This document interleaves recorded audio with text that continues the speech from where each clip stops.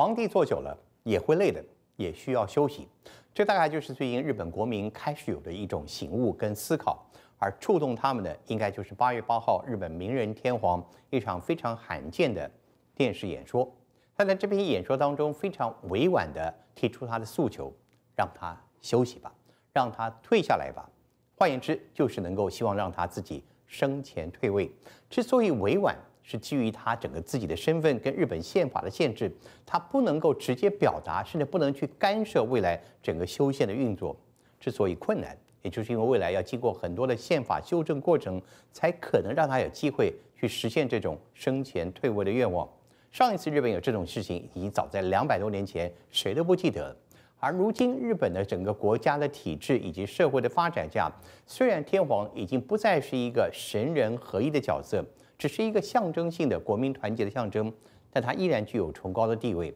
依然在法律上受到很多的约束，依然不能够做他他的自己。当然，日本的天皇这一个说法也强调了日本皇室在世界诸多皇室当中他们特殊的一种功用跟地位还有角色。日本的皇室普遍给大家感觉是严肃而且低调的。究竟他们的生活是如何？究竟明仁天皇这二十几年来做的快乐吗？究竟日本的皇室如今面临了什么样的复杂问题？他这次的愿望真是只是基于自己本身年迈的考虑吗？我们来探究一下这个日本最新的政治议题。月二十三号，日本皇室出现不寻常的状况，皇太子德仁、二皇子邱小公被紧急召入宫，就连下嫁平民、失去皇室头衔的亲子公主也来了。惊天动地的重大事件正在酝酿当中。すでに八十を超え、全身全霊をもって象徴の務めを果たしていくことが難しくなるのではないかと。 茶壶里的风暴终于揭晓，距离皇室家庭聚会仅仅半个月，名人天皇罕见的发表电视演说，首度亲自对外透露自己想要生前退位的强烈意愿，就连身后事都考虑周全。天皇の終焉にあたっては、重いもがりの行事が連日ほぼ2ヶ月にわたって続き。 その後、葬儀に関連する行事が1年間続きます。也难怪名人担心年老时突然过世会让日本社会停滞，因为他的父亲裕仁天皇驾崩时，日本社会就弥漫自述氛围，自我克制不享乐，各地祭典停办，停止赛马，剧院关门。 股市停止交易，就连耶诞节饼干的产量也骤减，因为全国根本无心过节，许多婚宴也干脆延期，或甚至不办了。自粛が見られたのはレジャー関係で、東京周辺の遊園地もディズニーランドが営業したのを除くと、この週末休園するところがほとんどです。天皇驾崩对于日本社会影响太大，外传名人忧心自己的身后事会遇上二零二零年的东京奥运，结果让四年的筹备努力一夕之间付诸流水，才萌生了提前退位之意。天皇陛下もお疲れ様ですっていうもう一生懸命の被災地の方にも赴かれたりしている姿を見ると本当に倒れてもらいたくないっていう気持ちもありましたし気持ちは頑張ってほしいけれども。 ぱりその天皇が100%できないならやりたくないって思ってるんだろうなって思うと辛くて悲しいです。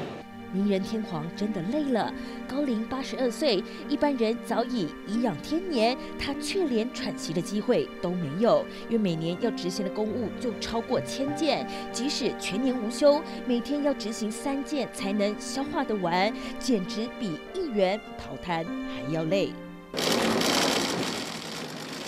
根据统计，光是去年天皇在皇宫接见外宾就多达两百七十次，到全国各县市巡视就有七十五次，这还不包括出国访问。五月熊本地震一个多月后，天皇和美智子皇后随即深入灾区进行当日往返的急行军事慰问，体力负荷相当大。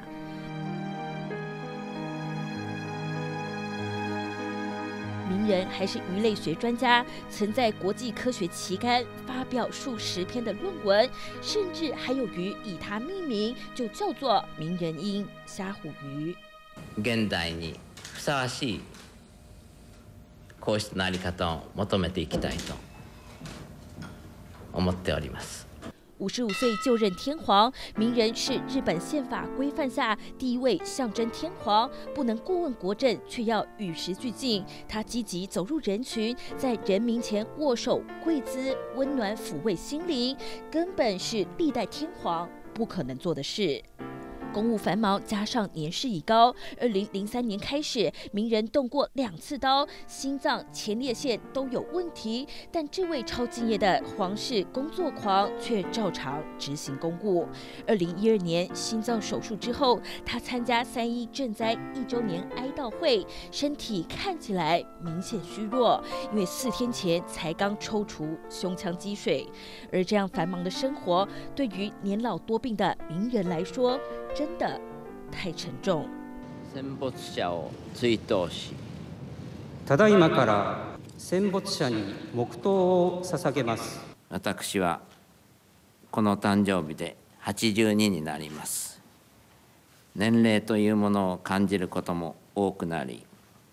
行事の時に間違えることもありました。宫内厅提议减少公务，却惹得天皇不开心，因为他认为这是宪法赋予他的责任，不希望失位素餐，因而考虑生前退位。どのようなことができるのか、